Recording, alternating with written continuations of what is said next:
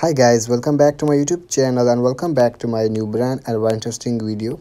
So i'm your friend hasnan and you are watching Elias android tech so in this video i am going to be tell you that how we can use touch id passcode on whatsapp on iphone ios 17 so in this video i am going to be tell you.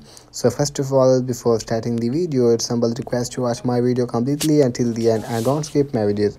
And if my videos were informative and very branded for you then please don't forget to subscribe my youtube channel and hit the bell icon for my new video. So without wasting any time let's get started the video. So first of all guys simply what you have to do you have to just open your it's whatsapp on your iphone i17 and now you can see here uh, my touch id passcode is not required on my whatsapp. So guys if you want to require your passcode on your whatsapp when you open your whatsapp so you have to simply tap on the setting option and after that from here what you need to do you have to just simply scroll it below.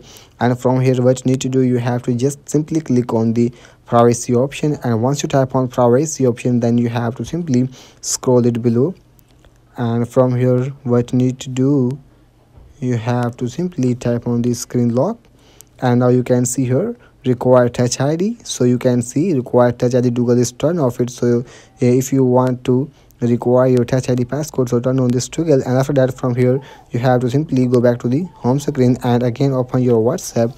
And guys you can see here touch id for whatsapp. Touch id is required to use whatsapp. So here i will long press on the whatsapp. So now you can see here my touch id password is required on my whatsapp. So from this method you have to require your uh, passcode on your iphone on whatsapp i17 so in, so i hope your problem has been fixed. If your problem has been fixed then please don't forget to subscribe my youtube channel and hit the bell icon for my new video.